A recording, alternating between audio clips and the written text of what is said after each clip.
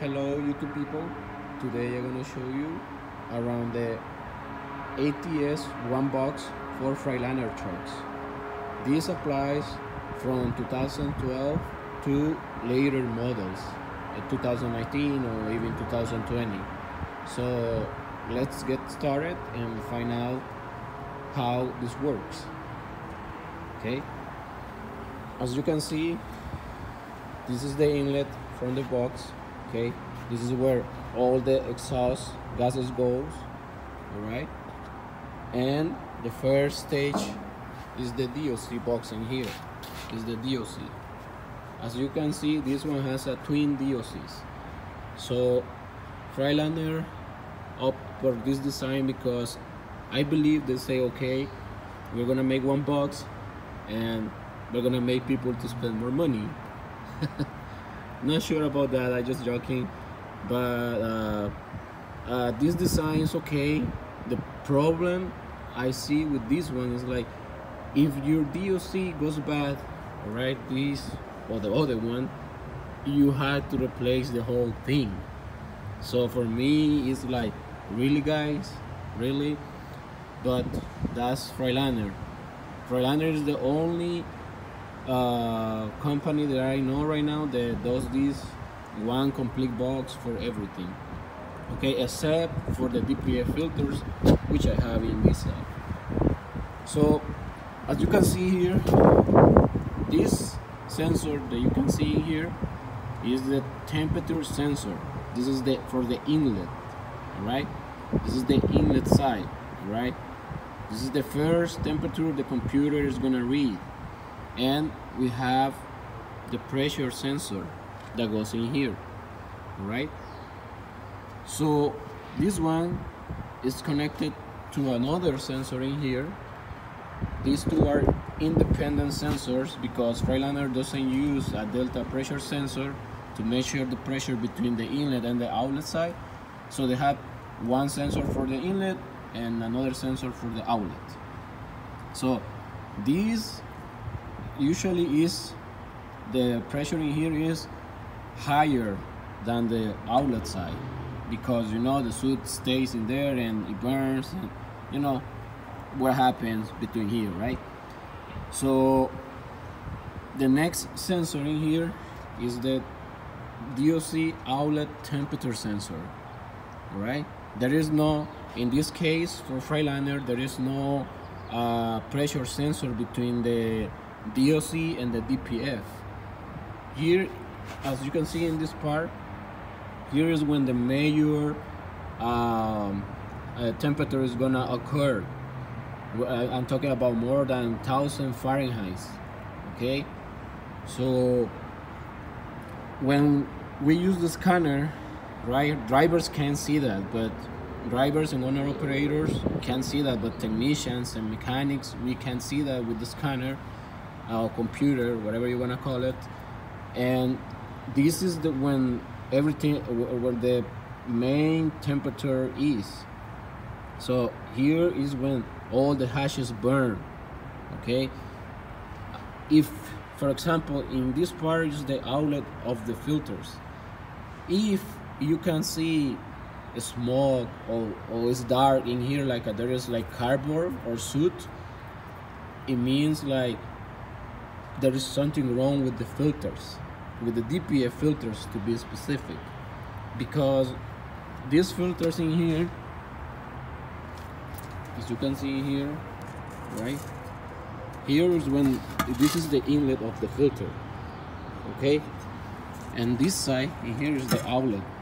As you can see, this one is really clean, okay? But sometimes, if you see here, like, start building soot around, it means probably the filter is getting clogged.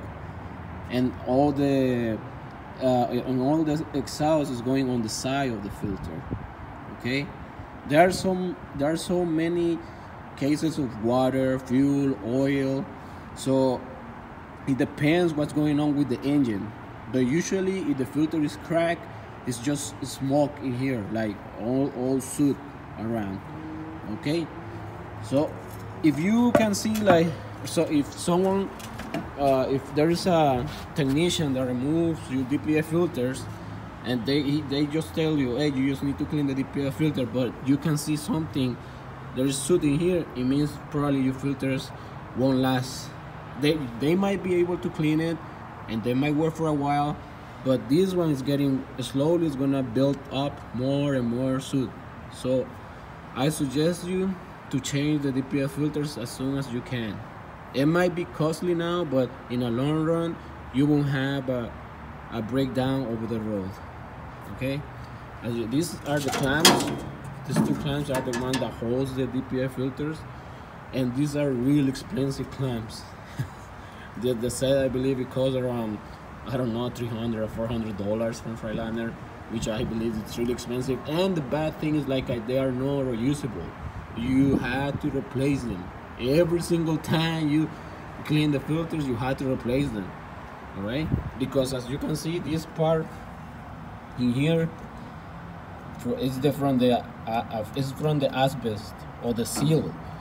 And once you remove it there's no way you can reuse them right? So now let's check it out.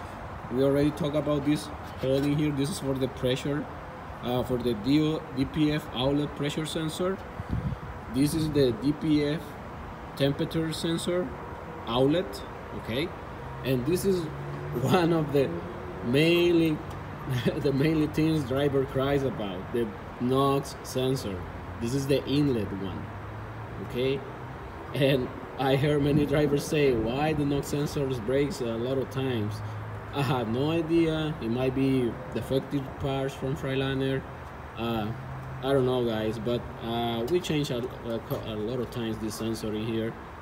But um, as I told you I don't know if they're defective parts and you tell Freightliner you want warranty they won't give you warranty because they are electric parts so that's what it is guys. But this is the when when they talk about the inlet NOx sensor is this one? Inlet or intake. They are the same thing. So on this side you can see this is where the DEF injection goes okay? Some trucks has just the injector especially I believe from 2015 there's only the injector in here. It has no more the metering valve. You know metering limiting valve. There are two things. Limiting valve is like a air solenoid. Metering valve is the one who check how much pressure are in the in the DEF line it mix air. So it's gonna be enough pressure to you know to uh, make the mix and you know uh, you know uh, fix uh, I forgot this word uh, uh, to you know to make the the to pulverize. You if you want to put it that way to pulverize the the uh, to inject the DEF sorry guys. To inject the DEF in here. That's what it does. But in the newer design they, they remove those two parts and they just stay with one single injector in here. So that's good for Freightliner I'm glad that they did that because oh man it was a pain to change the ball under the chassis. And then sometimes you had to replace this one too on the side. And it, it, it were more it were more costly okay? So this is on the side of the DPF and now we're on the rear part that usually drivers can see only we mechanics or technicians can see. And this is the SCR inlet temperature sensor. This one usually doesn't get bad. I, I never changed this one before because it gets bad. It's mainly just the main harness what it gets bad but it's good to know okay? In the newer ones okay here we're gonna talk about 2018 and up I believe Freightliners, especially the ones with the newer uh, chassis, uh, it has in here uh, just it doesn't have a sensor anymore in here. They don't use it anymore. So that's the difference. One of the difference between the newer one and the older one SCR system. And um, we have here the outlet NOx sensor that goes in here. Sometimes it's a pain to remove it from here, you know? This part in here you cannot put a socket on it because it's so tight but this one has plenty of room so that's nice. This is the NOx outlet sensor okay guys? And we have the SCR outlet temperature sensor. And of course the outlet. And as you can see here let me remove this for you guys um, as you can see these two these two things in here are the SCR panels right? When the conversion occurs between the ammonia and whatever other things are over there I'm gonna try to let you know guys how this actually works in another video if I can. But here with the heat uh, this is when the conversion takes place. And it's supposed to here come, come here free of soot if you can see something dark like a soot or whatever like soot or you can see oil or fuel I can tell you guys you have a really big issue with your filters and and pretty much with the engine. So uh, this is the way it works the SCR system okay and if you have any questions let me know in the section down below.